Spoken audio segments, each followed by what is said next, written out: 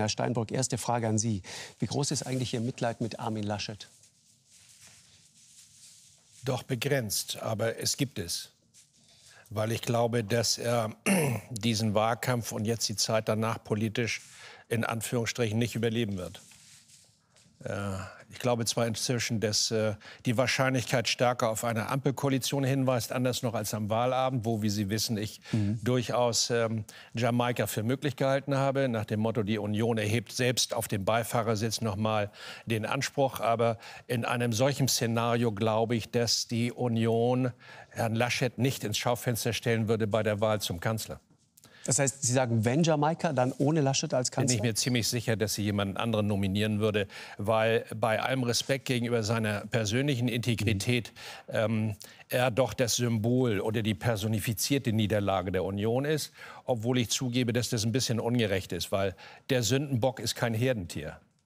Und er äh, muss das jetzt alles auf sich nehmen. Mhm. Äh, und es geht ein bisschen in Vergessenheit, mhm. dass doch 16 Jahre Politikmodell von Frau Merkel die CDU ziemlich entleert haben. Sie ist durchaus erfolgreich in der Lage gewesen, viele Themen aufzusaugen, an sich zu ziehen, ruhig zu stellen. Sie ist in der Lage gewesen, aus Kontroversen, aus Wahlkämpfen den Sauerstoff herauszunehmen. Das war sehr erfolgreich für die Union. Mhm. Aber mit dem Ende ihrer Ära wird deutlich, dass die Union doch ziemlich profillos geworden ist. Und sie hat den Fehler gemacht, dann auch noch einen verhältnismäßig profillosen Kandidaten obendrauf zu setzen. Mhm. Weil Sie dieses Gefühl und diese Situation kennen, wie geht es einem Wahlverlierer eine Woche nach der Wahl, einem Kanzlerkandidatenverlierer, so wie Sie es auch waren? Das hat Trefferwirkung. Aber irgendwann weiß man auch, dass es nach der Politik ein Leben gibt. Das kann ich nur bestätigen. Wie lange dauert das? Unterschiedlich. Ist abhängig von demjenigen, dem es widerfährt. Bei Ihnen? Ähm, ich glaube, dass wenn ich meine Umgebung richtig interpretiere, haben die gesagt, naja, ein halbes Jahr und dann war das aus den Kleidern gebürstet. Aber man macht die Erfahrung, ich glaube, Talleyrand hat gesagt, Hochverrat ist eine Frage des Datums. Mhm. Und der muss es übrigens wissen. Ähm, inzwischen stelle ich fest, auch Sieg oder Niederlage sind eine Frage des Datums. 2013 ist eine Niederlage und 2021 ist ein Erfolg. Grämt einen sowas? Wurmt einen sowas? Ich meine, 25,7 Prozent. Die Parallelitäten sind ja offensichtlich. Sie waren beide Länderchefs. Olaf Scholz hier in Hamburg, Sie in, in NRW. Äh, beide Finanzminister. Und dann holen Sie beide 25,7 Prozent. Sie gingen als Verlierer vom Platz. Er wird wahrscheinlich bald Kanzler sein. Es grämt Sie nicht. Das ist nun the name of the game, wie man so sagt. Das ist der demokratische Wettbewerb. Und einmal äh, sind sie mit dem Ergebnis vorne und dann verändert sich ja auch Gesellschaft. Die politische Landschaft hat sich in den acht Jahren äh, verändert. Die beiden großen Parteien sind nicht mehr mhm. das, was wir bis in die 70er, 80er, 90er Jahre mhm. als Volksparteien erlebt haben. Ähm, die SPD ist lang auf dem Niveau von um und bei 15 Prozent gewesen. Ja. Ähm, insofern sind die Rahmenbedingungen andere, unter denen Scholz jetzt die 25,7 geholt hat. Äh, und man darf nicht in Vergessenheit äh, geraten lassen, dass Frau Merkel in meinem Wahlkampf über 40 Prozent war. Das ist wahr. Zuzugeben. All, all, das, was Sie jetzt sagen, das sagt alles der Kopf. Das ist sozusagen die, die äh, ausformulierte Analyse ihrer Geschichte. Aber was sagt der Bauch? Wann, wann kommt das wirklich da an? Sie wollen hat, jetzt mein Innenleben offen. Ich würde gerne mal verstehen, ja, was das mit Menschen macht, weil ich, ich habe ja immer wieder hier auch Leute sitzen, die genau mit solchen. Wissen Sie, allein das Wort Niederlage in dem Zusammenhang ist ja schon ein großes Wort, weil man muss ja erstmal in die in die Verlegenheit kommen, sozusagen Kanzlerkandidat sein zu können. Das heißt, man ist dann ganz, ganz oben angekommen. Und plötzlich erlebst du, wie noch am Wahlabend, der erste Balken geht hoch und die Ersten suchen schon einen Notausgang. Es spielt eine Rolle, wie Sie selber die Lage eingeschätzt haben. Und ich war jedenfalls morgens beim Blick in den Rasierspiegel ziemlich sicher, ich kann die Wahl sowieso nicht gewinnen. Das dürfen Sie niemals zu erkennen geben, weil es wahnsinnig demotivierend ist. Aber ähm, damals, 2013, war mir schon klar, dass es fast unmöglich ist, diese Bundestagswahl zu gewinnen. Insofern, wenn Sie so wollen, war ich psychologisch auf eine Niederlage bereits länger vorbereitet. Ab wann waren Sie das? Wie viele Wochen vorher? Mindestens sechs Monate vorher. Sechs Monate vorher wussten Sie schon, das geht schief? Ja. Wie oft denkt man danach hinzuschmeißen? Gar nicht, weil sie wissen, dass sie eine Verantwortung haben. Ne? Mit Blick nicht nur auf die eigene Partei, sondern auch einen demokratischen Wettbewerb. Ja. Ähm, Sie wissen genau, wenn Sie dies zu erkennen geben und sich so mhm. auch darstellen, dann verliert Ihre eigene Partei noch mal zwei, drei Prozent mehr. Ähm, Sie wissen um die eigenen Fehler. Äh, insofern habe ich dort mit Herrn Laschet auch ein gewisses Verständnis, denn ich kann mich an meine verkehrten Fingerübungen ganz gut erinnern, mhm. die dann ebenfalls zu einem Symbolbild wurden. Das eine Foto, ich meine, der eine kurze Moment. Ja, das hat mich wahrscheinlich zwei Prozent gekostet. Das kam bei den unter 18-Jährigen ganz gut an, aber die sind nicht wahlberechtigt gewesen. Das ist das, ist das berühmte Foto, aber das war ich wusste, dass ein Sie ironisches das auf dem Sender haben. ja gut, Sie, aber da wussten Sie ja schon, ne? Ja, das Bild ist ein Fehler gewesen von mir. Und wann beginnt der Kampf sozusagen gegen die eigene Partei? Wann, wann fängen die an, nee, auf, kein, auf, das, auf das Leittier, wie Sie es gerade formuliert nein, haben, loszugehen? Kein Kampf gegen die eigene Partei, aber der SPD-Erfolg dieses Mal ist maßgeblich davon geprägt, dass anders als 2009, 2013, 2017 die Partei sehr geschlossen hinter äh, Olaf Scholz gestanden hat. Ähm, ich glaube trotzdem, dass man sehr vorsichtig sein sollte. Die SPD habe gewonnen. Ich würde es darauf reduzieren wollen, dass Olaf Scholz gewonnen hat. Äh, er hat gewonnen, auch weil er so banal, das klingt, nicht Armin Laschet war in diesem Vergleich. Äh, die SPD oder seine Umgebung ist in der Lage gewesen, alle, die ihm hätten Knüppel zwischen die Beine hätten werfen können, zu vergattern, hm. um den Preis einer Exkommunikation. Das hat sehr gut geklappt. Und man muss vielleicht sogar so weit gehen, gefährliche Aussage von mir, äh, Olaf Scholz ist gewählt worden, nicht weil er in der SPD ist, sondern obwohl er in der SPD ist. Will sagen, eine Prägung der SPD durch Esken und äh, Kühnert hätte in meinen Augen nicht mal die 20 Prozent erreicht. Scholz und seine Leute haben es geschafft, alle, die ihm zwischen die Beine hätten hauen können, zu knebeln, zu fesseln und in den Keller des Willy Brandt-Hauses einzusperren. Teilen ich, Sie die Analyse? Ich, ich, weiß, wer das gesagt hat. Wer hat das gesagt? Das war ich. Ich weiß. Ja, das ist gelungen. Das war anders als 2019, 2013, 2017. Nochmal der Kampf gegen die eigene Partei. Ich habe dieser Tage Interviews gelesen mit Unionsabgeordneten. Unsere Wahlniederlage hat genau drei Gründe. Erstens Laschet, zweitens Laschet, drittens Laschet. Wie weh tut sowas? Das ist zu wenig, weil ich ja schon gesagt habe, dass der. Aber äh, persönlich meine ich jetzt, das ist so, das ist so der erste Nahe, der erste Beißreflex. Und zwar ohne noch überhaupt den Versuch zu machen, es in irgendeiner Form inhaltlich zu begründen oder zu tarnen, sondern richtig los. Das war die Antwort, die ich Ihnen auf Ihre Frage geben wollte, ja. Das heißt, sie personalisieren eine solche Niederlage, ohne zu fragen, ob es nicht auch tiefere inhaltliche Gründe hat. Und natürlich hängt es auch an der Partei. Mhm. Das ist dieselbe Situation gewesen für die SPD, als sie Wahlniederlagen eingesteckt haben. Es waren nicht alleine die Spitzenkandidaten mit ihren Fehlern. Äh, und die Reaktion dann immer von einer Erneuerung der Partei zu reden, diesen Begriff fast inflationär in Parteitagsreden ähm, dann äh, zu erwähnen, aber es folgenlos zu lassen, ist einer der Gründe gewesen, warum die SPD zwischen 2009 und ja, 2021 doch auch ähm, bittere Zeiten erlebt hat. Mhm. Hat Armin Laschet den Zeitpunkt für einen geordneten Rückzug verpasst? Nein, er konnte nicht vor der Bundestagswahl zurücktreten. Undenkbar. Er hätte auch Aber am, am Wahlabend 18 Uhr, Sonntagabend 18 Uhr?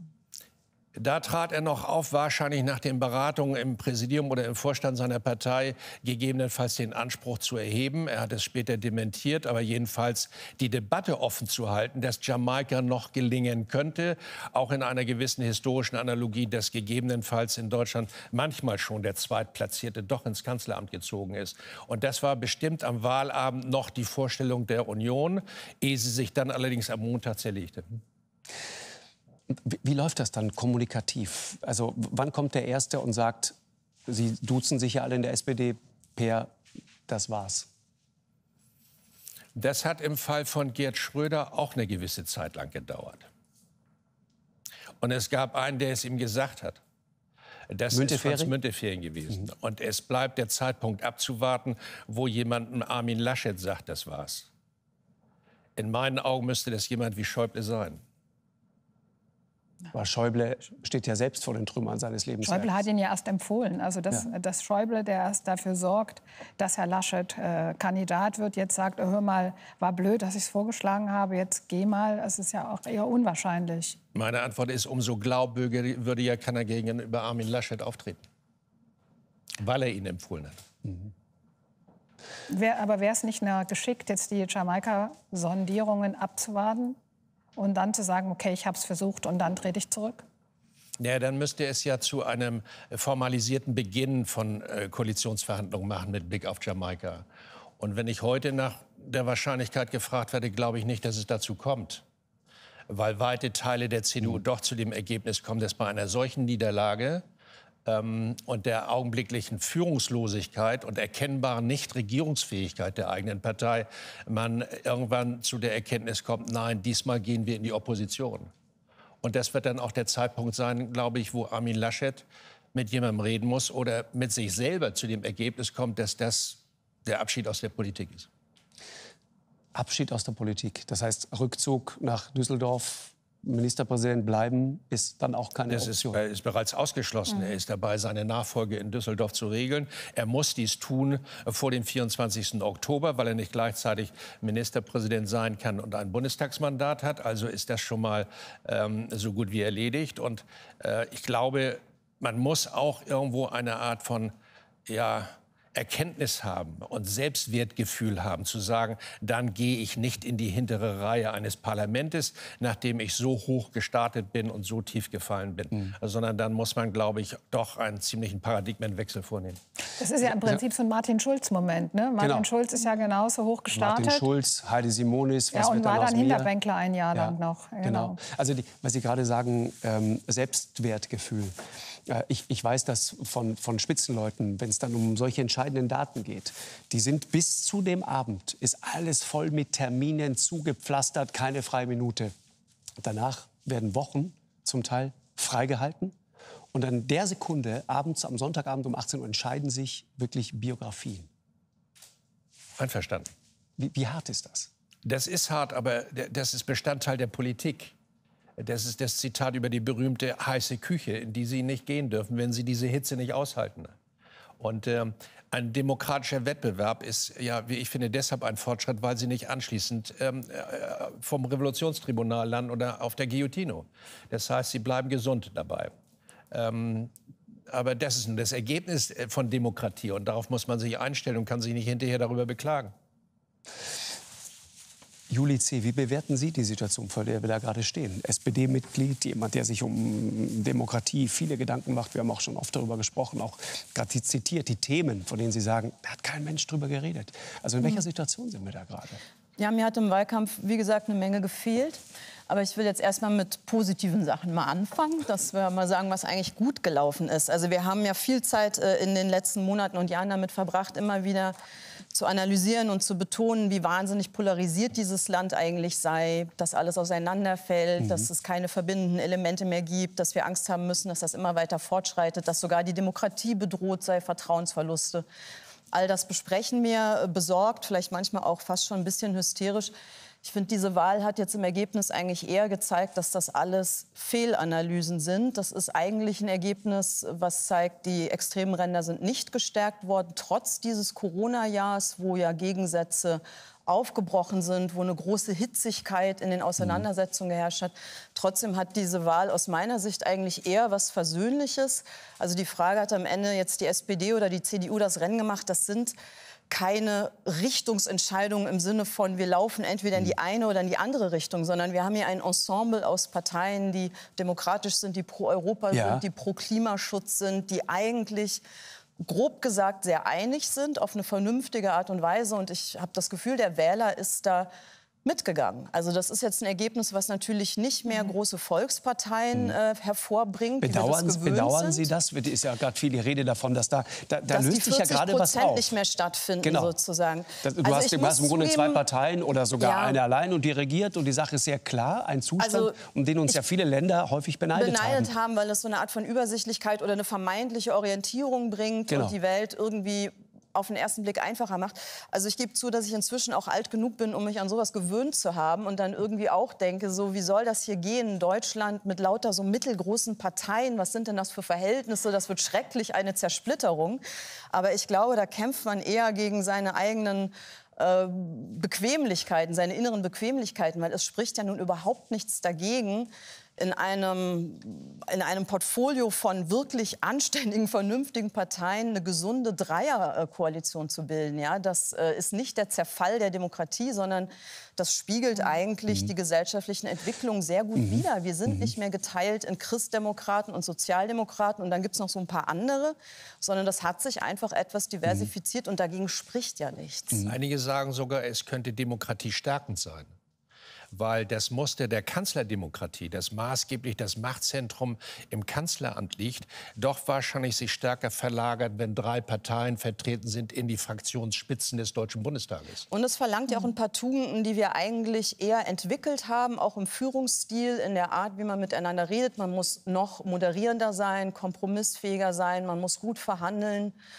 das ist ja nicht unbedingt was Schlechtes. Mhm. Und ich finde auch, wenn man jetzt anschaut, wie das seit dem Wahlabend läuft, also was die da zurzeit machen in ihren Sondierungen, ist auch ordentlich. Ja, also dass sie die Tür zumachen und sagen, das machen wir jetzt auch ohne großes Pressetamtam, sondern hier in Ruhe.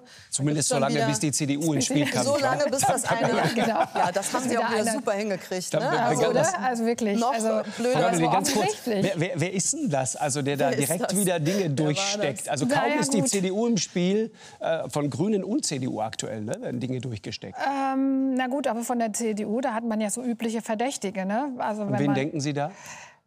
Jens Spahn, Jens Spahn, Michael Kretschmer. Also wissen Sie oder vermuten Sie jetzt nur? Wir müssen jetzt aufpassen. Wir sind ganz knapp. Hier wir, wissen, wir wissen gar nichts. Wir können aber eine Indizienkette legen. genau. wer, wer, schreibt Ihnen denn immer? Wer simst Ihnen? Das kann sie ähm, doch nicht sagen. Ja, das also hier schon, sind ja unter uns. Hier. Das ist Quellenschutz, genau. Ja, Quellenschutz. Ja, genau, das ist wie bei den Pandora Papers, Quellenschutz.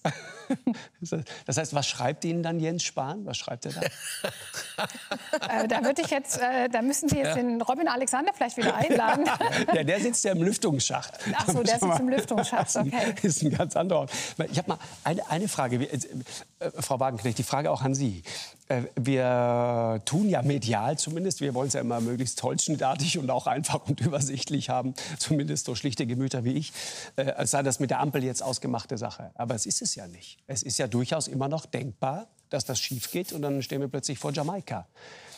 Und also wer wäre denn dann der Anführer? Wäre das dann Armin Laschet? Wäre ein Kanzler Armin Laschet vermittelbar, öffentlich, medial? Und wenn nicht, was wäre denn dann? Wer könnte denn übernehmen? Also ich halte es für ausgeschlossen, bei dem offensichtlichen ja. Verlust an Rückhalt, den ja. Armin Laschet in der eigenen Partei hat, dass er Kanzler wird. Also das, das, das, das zerlegt sich ja jetzt richtig. Also das äh, kennt man auch manchmal von anderen Parteien. Von der CDU kannte man es bisher nicht. Von der Linkspartei? Äh, ja, auch von der, von der SPD. SPD. Also meine, die SPD hat ja nun auch sehr viele Vorsitzende wirklich zerlegt und verschlissen. Ja. Aber jetzt ist die CDU gerade in der Situation. Und ich glaube nicht, dass man unter den Bedingungen, das könnte ja keine Partei wirklich ernsthaft verantworten, äh, eine stabile deutsche Regierung hinbekommen.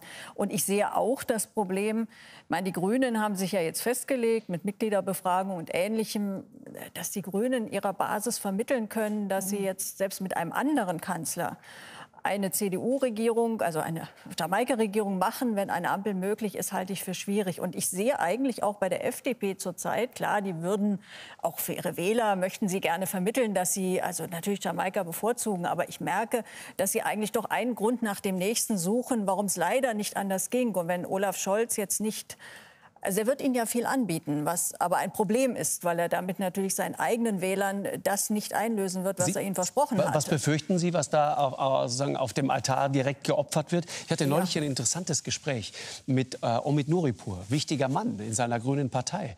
Und er hat sich um wirklich auf gar keinen Fall wollte er sich dazu hinreißen lassen, zu sagen, so, Tempo 130 machen wir auf jeden Fall. Mhm. Ich meine, das wäre einfach zu machen, wenn uns das mit dem Klima wirklich ernst ist. Und wenn wir sagen, wir müssen so und so viele Tonnen einsparen, kannst du tausendmal auf die Bahn verweisen. Da brauchen wir Jahre, um Bahnstrecken zu bauen. Aber das mit dem Auto können wir sofort machen. War er nicht dazu bereit. Nein, es gibt ja erstaunlich wenig. Also gut, man kann sagen, klar, es hat jetzt auch keinen Sinn, dass jeder seine roten Linien öffentlich formuliert. Aber ich meine, die SPD hat den Mindestlohn versprochen. Ich denke, dass sie den auch kriegen wird, weil ich meine, wir haben eine Inflation von 4 Prozent. Bei Energie, bei Grundnahrungsmitteln ist sie noch viel höher. Mhm. Wir müssen den Mindestlohn erhöhen. Also das ist ein, äh, wirklich ein Desaster, wie niedrig der in Deutschland ist. Und ich denke, dass das am Ende sogar äh, auch Herr Lindner einsehen wird. Also ich nehme an, dass die SPD das durchsetzen wird. Aber Vermögenssteuer kann sich ab abschreiben. Mhm. Steuerliche Entlastung von Geringverdienern würde ja voraussetzen, dass man dann bei den wirklichen Großverdienern stärker zulangt. Dann, sonst kann man es ja nicht finanzieren. Also wird auch das sehr unwahrscheinlich sein ich nehme an, dass äh, Lindner auf, die, auf, der Abschaffung des Soli-Zuschlags besteht. Also er will ja, muss ja, natürlich, glaube, also die FDP hat ja das meiste, was sie dann, also aber sie muss ja ihrer Klientel sagen, okay, wir haben uns jetzt für die Ampel entschieden und nicht für Jamaika, also haben, und weil, zwar weil wir das und das und das bekommen haben. Und ich fürchte, sie werden eine ganze Menge bekommen. In dieser Regierung werden die Grünen und die FDP eine sehr, sehr starke Stimme haben. Beide sind Parteien, die vor allem von Besserverdienern gewählt werden. Also es sind beides Parteien, die schon eher die wohlhabenden Milieus vertreten. Und deswegen mache ich mir wirklich Sorgen, dass das Land weiter auseinanderdriftet. Und ich teile auch das, was Sie gesagt haben, in dem Sinne, natürlich bin ich auch froh, dass die AfD jetzt nicht weiter zugelegt hat. Aber ich glaube, zur Wahrheit gehört auch, dass die AfD natürlich auch wirklich überhaupt kein attraktives Personal hat, dass sie auch völlig zerstritten ist. Also das Potenzial für eine solche Partei ist meines Erachtens immer noch deutlich größer so. als äh, die Wahlergebnisse. Man muss auch sagen, die Corona-Politik, da hat die FDP, das muss ich ja sogar anerkennt sagen, hat sie irgendwann eine sehr äh, profilierte Politik gemacht und doch einen Teil derer, die mit den Maßnahmen nicht einverstanden waren, glaube ich, ich meine, die FDP ist ja immerhin von 5 Prozent im letzten Sommer auf den Wert hochgegangen. Und das war die Corona, glaube ich, im Wesentlichen die Corona-Politik. Ich kenne sogar selber Leute, die früher Linkspartei gewählt haben. Die haben mir gesagt, also ich, sie finden die Steuerpolitik der FDP schrecklich. Aber sie wählen diesmal FDP, weil die sind wenigstens zu, für die Verteidigung der Grundrechte. Also das heißt, die was, FDP was haben Sie gewählt? Sie haben ja auch mit der Corona-Politik gehadert. Nein, ich habe nicht die FDP gewählt. Haben Sie auch FDP gewählt? Nein, ganz sicher nicht. Aber trotzdem, also, aber ich finde, Sie haben da tatsächlich eine anständige Figur gemacht und mhm. Sie haben dadurch nicht der AfD das Feld überlassen. Mhm. Also auch das hat ein bisschen zu, der, zu den Wahlergebnissen beigetragen. Aber was ich wirklich schlimm finde, ist, wie wenig Profil gerade bei den zwei ehemaligen Volksparteien da war. Darf ich einmal ein interessantes Zitat dazu? Auch ein Fußlahmer kann einen 100-Meter-Lauf gewinnen, wenn seine zwei Mitbewerber kurz vor dem Ziel kollabieren. Zitat Ende. Es waren Sie. Ja, also ich glaube das wirklich, ist eine harte dass, Beschreibung. Naja. Ja. aber es ist schon so, dass Olaf aber das einfach in den Triellen natürlich besser abgeschnitten hat als Annalena Baerbock, als Armin Laschet. Und insoweit war das für ihn eigentlich eine Werbung, weil ja. er dann immer noch solide wirkte. Gegen also ich würde ja gerne mal irgendwie ein bisschen anderen Blick drauf werfen. Also Sie haben das vorhin in der Anmoderation ja auch schon so als selbstverständlich vorausgesetzt und es drang auch hier so durch, dass sozusagen der falsche Finger das falsche Lachen im falschen Moment und äh, so, dass so eine Fettnapfgeschichte letztlich darüber entscheidet, wo die Prozente landen. Ich weiß nicht, ob das nicht ein bisschen ein zu mhm. schwaches und pessimistisches Bild von unseren Wählern zeichnet. Ja? Also so blöd denke ich mal, sind die auch wieder nicht. Und ich bin mir nicht sicher, ob die Analyse stimmt, dass mhm. tatsächlich mhm. die Leute, die jetzt vor einer Woche zur Wahlurne gegangen sind, einfach nur gesagt haben, äh, naja, der Scholz, äh, der hat am wenigsten Fehler gemacht, den wähle ich jetzt. Also wenn das mhm. tatsächlich mhm. der Fall wäre, hätten wir, glaube ich, Demokratie auf wirklich unterirdischem Niveau. Und ich würde auch ja. gerne ein bisschen optimistischer über die sozialdemokratische Idee äh, noch mal sprechen. Also ich gebe Ihnen total mhm. recht, dass da, äh, sage ich mal, Defizite sind, auch aus meiner Sicht. Mhm. Aber Olaf Scholz hat schon es geschafft und auch seriös rübergebracht. Und soweit ich ihn wahrnehme, meint er es auch so, dass er schon so ein paar klassische Anliegen des sozialen Ausgleichs wieder nach vorne gestellt hat. Das ist im Wahlprogramm nicht zu überlesen und das hat er auch überall nach vorne getragen. Aber Sie sagen auch, aber Frau C., er sei ein Anticharismatiker, ja, genauso übrigens ja, wie Per Steinbrück. Ja, genau. Das hat mich überrascht. Aber, aber wenn ich ja, da mal... Ich hoffe, Herr Hat sie das wirklich gesagt? Ja, total. Ich finde, ja, Sie sehen sich auch die Sendung ähnlich. aber jetzt zu Ende, ne? Einer von uns muss jetzt gehen. Aber finden Sie auch, dass Sie sich auch ähnlich sehen mit Herrn Scholz, so optisch? Äh, optisch? Also, ja. Was ist denn das jetzt für ein Niveau? Das ist ja Sie müssen darauf nicht antworten, Herr Steinbrück. Nein, ja? Nee, tue ich jetzt Nein. auch nicht. Nein, Sie müssen nicht antworten. Sie also, sehen, wir auch Männer auch, müssen sich im Jahre 2021 Foto, Wir können auch lächeln und gehen zum Lachen auch nicht in den Keller bei Licht aus. Das geht. Ähm, wir haben durchaus und einer hat eine Brille. Ja, durchaus einen gewissen Sinn für Ironie und Humor. Aber okay, vielleicht kommen wir vom Image her immer so rüber, weil andere uns auch so beschreiben. Ich finde ja, ich meinte das ja gar nicht kritisch. Ich Aber meinte anti, anticharismatisch, ja, was meinen ja, Sie damit? Na, damit meine ich, dass man kein Schreihals ist, der mit wohlfeilen Parolen, einem hübschen Gesicht und einer volltönenden Stimme versucht, Massen hinter sich zu sammeln. Also um das mal, ein Anticharismatiker ist auch das Gegenteil eines Populisten, muss mhm. ja klar sagen. Ja? Und was die Herren äh, Steinbrück und Scholz ja wirklich positiv auszeichnet, ist, dass die sachlich sind, mhm. sehr clever, souverän, eine gewisse Ruhe ausstrahlen. Sie und merken, ich glaube, sie biegt jetzt die... Er wird jetzt immer größer. Ja, ich, ich, ich, kann, ich, kann, bleiben. Und ja, sie, genau, das Ziel erreicht. Nein, mal ganz im Ernst. Also mal abgesehen von der Person Scholz, die, glaube ich, einfach mit so einer gewissen souveränen, verlässlichen, vernünftigen Ausstrahlung schon Leute eingesammelt hat, die das Gefühl haben, das ist mir hier alles ein bisschen zu laut. Ja? Also das ganze Geschrei über den Richtungswahlkampf, den haben wir inzwischen alle zwei Jahre. Wenn man sich mal mhm. anhört, was bei der Europawahl vor zwei Jahren gesagt wurde, das war auch der Richtungswahlkampf jetzt schon wieder. Scholz stand, glaube ich, ein bisschen mehr dafür zu sagen, es gibt echt Wichtiges zu tun, aber es ist auch nicht so, dass wir hier eine Revolution brauchen und das ganze System über den Haufen werfen müssen, sondern wir haben schon Wege beschritten. Ja. Das muss schneller gehen, besser gehen und so weiter das strahlt er aus. Und ich glaube, das war ähm, das, was geholfen hat. Aber ich glaube nicht, dass das nur eine Frage ist, äh, wer war jetzt der am wenigsten Schlechte. Und dass das nichts zu tun hat mit, den, mit dem Spirit der jeweiligen Partei, der dahinter steht. Also Frage also an, den, an den Anticharismatiker. Äh, geht Ihre Analyse genauso? Ja, äh, und auch durchaus in einer gewissen Linie sowohl mit Frau C. wie auch mit Frau Wagenknecht, wo ich allerdings an den Anfang stellen möchte, man kann sich eine Regierung ganz anderer Art wünschen.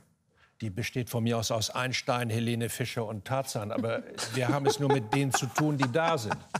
Äh, und äh, nach Lage der Dinge ist die Regierung, die am wahrscheinlichsten ist und diese Aufgaben übernehmen muss, diejenige, die sich da abzeichnet. Ähm, die Übereinstimmung besteht darin, dass ich glaube, dass der Wahlkampf nicht banal war. Ähm, aber dass wir es mit einer Reihe von zentralen Themen zu tun haben, die trotzdem in der öffentlichen Debatte und auch im politischen Streit unterbelichtet sind. Mhm. Ich glaube, dass wir längst noch nicht begriffen haben, was Klimawandel und in den Konsequenzen bedeutet. Weder von den Kosten her, noch von den Verteilungseffekten her, noch von der Änderung der Lebensweisen. Ich glaube, wir haben längst nicht begriffen, was der Alterungsprozess dieser Gesellschaft bedeutet. Nicht nur mit Blick auf die Finanzierung der sozialen Sicherungssysteme, Rente. sondern mit Blick auf Fachkräfte. Mhm. Und wie entwickelt sich Vorsicht, eine Finger, Herr Steinbrück, Vorsicht. Wie entwickelt sich eine Gesellschaft, die immer älter wird, wo bereits jetzt meine Generation 38 Prozent der Wähler gestellt haben mhm. und auf Status quo-Interessen orientiert sind. Und die Frage stellt sich, wie ist es um die Innovationsfähigkeit und um die Neugier einer Gesellschaft bestellt, die immer älter wird. In dem Wahlkampf spielte überhaupt keine Rolle die Krise des Multilateralismus und damit welche Rolle in Europa und mit Europa Deutschland hat. Und ich gebe zu, nach wie vor stellt sich die soziale Frage, wie entwickelt sich äh, die Teilhabe am Haben und Sagen in dieser Gesellschaft. Aber ich kann mir keine andere Regierung im Augenblick vorstellen, die diese Fragen am ehesten aufgreifen könnte.